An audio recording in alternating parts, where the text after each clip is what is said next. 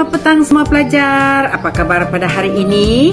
Teacher harap semua pelajar dalam keadaan yang sehat walafiat ya. Baiklah pelajar, bertemu lagi kita pada hari ini di mana pada hari ini teacher akan berkongsi mengenai dengan amalan pendidikan civic dalam co-curriculum. Hari ini teacher akan menerangkan mengenai dengan tajuk ataupun nilai hormat menghormati. Teacher pasti semua pelajar memahami ataupun mengetahui apakah itu hormat menghormati. Baiklah pelajar, sudah bersiap sedia pada saat ini? Harap semua pelajar sudah bersiap sedia ya. Baiklah pelajar, apa itu hormat menghormati? Oke, istilah hormat ini membawa maksud pandangan yang tinggi terhadap seseorang dengan memberikan layanan yang penuh sopan dan berhema kepadanya. Hormat menghormati dalam kalangan masyarakat perlu dipupuk agar ia senantiasa segar dan terus diamalkan. Dan jika hilang rasa hormat, tidak mustahil negara kita akan menjadi kacau bilau. Dengan pergaduhan di sana-sini, maka negara kita pasti akan mudah dimasuki oleh anasir-anasir jahat. Oleh itu, bagi mengelakkan suasana seperti ini, berlaku sikap hormat menghormati sesama kita harus diterapkan dalam kehidupan seharian kita.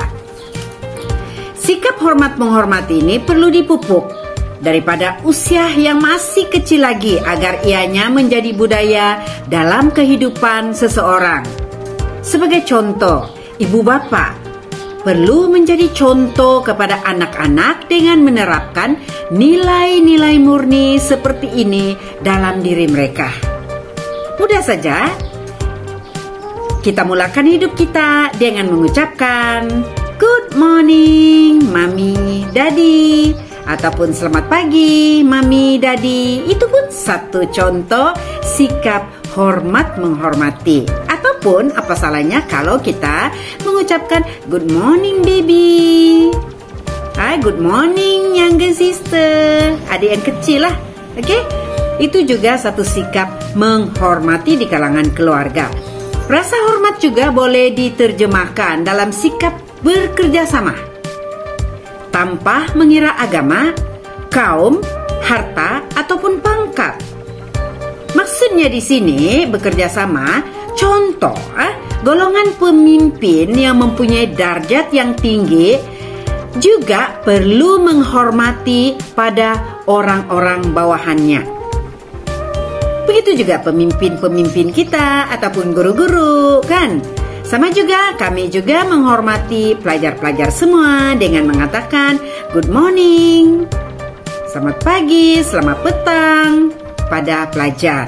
Seharusnya kita perlu mengubah mentaliti kita ataupun pikiran kita agar masyarakat seperti ini akan dapat berjaya ataupun maju ke hadapan. Hal ini karena sikap hormat menghormati melibatkan semua pihak dan bukannya pada golong sekadar golongan muda, tetapi juga golongan dewasa.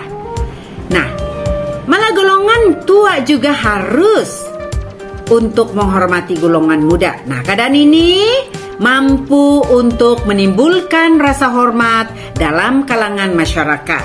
Nah, itulah yang dimaksudkan hormat menghormati tanpa mengira usia. Sama ada kita itu orang tua, kita harus menghormati orang muda ataupun orang muda harus menghormati orang tua. Jadi hormat menghormati itu adalah suatu perkara yang perlu ada dalam diri kita. Karena dengan adanya hormat menghormati itu, maka nilai diri kita itu ataupun martabat diri kita itu akan terangkat. Jadi, itu saja perkongsian teacher pada hari ini. Sampai berjumpa lagi di lain perkongsian ataupun di lain nilai. Okay, bye-bye. Terima kasih kena sudi bersama-sama dengan teacher pada hari ini. Okay, bye-bye.